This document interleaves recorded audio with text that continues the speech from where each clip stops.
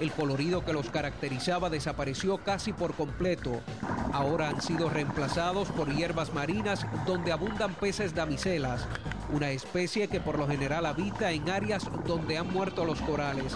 Tocarlos o anclar embarcaciones en los arrecifes también han contribuido a su mortandad. El problema es tan grave que a lo mejor de aquí a 10, 20, 30 años podemos quedarnos sin corales en Puerto Rico y en el Caribe.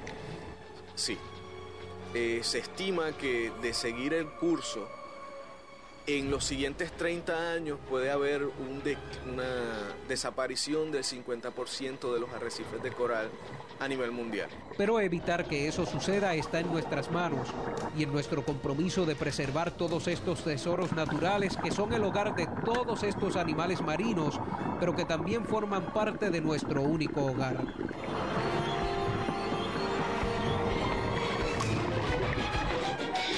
En informe especial, Jorge El Pipagán, Noticentro.